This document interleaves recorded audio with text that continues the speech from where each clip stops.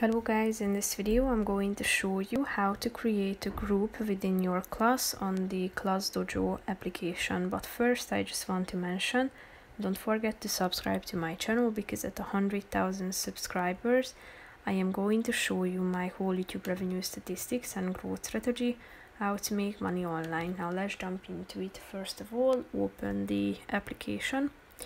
Then you should tap on the uh, one of the classes and click on the group button at the bottom of the page. Type in the group name. Tap on uh, the tab to add students and click on the check boxes next to the uh, those uh, names you would like to add to these groups. So tap on the done button after selecting them and click on the create group button and here you have your group created. So basically that's it for this video guys. See you in the next one. Bye bye